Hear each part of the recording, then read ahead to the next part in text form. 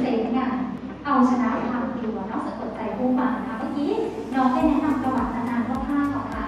ความรู้แน่นมากเลย แต่โตไม่ได้ ไปไกลกว่านี้ไม่ได้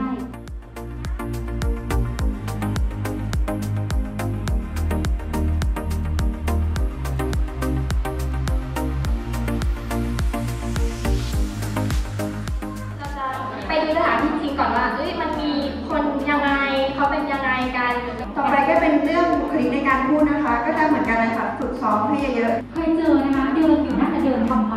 ตาลายอะเพราะว่าบางทีคนมอง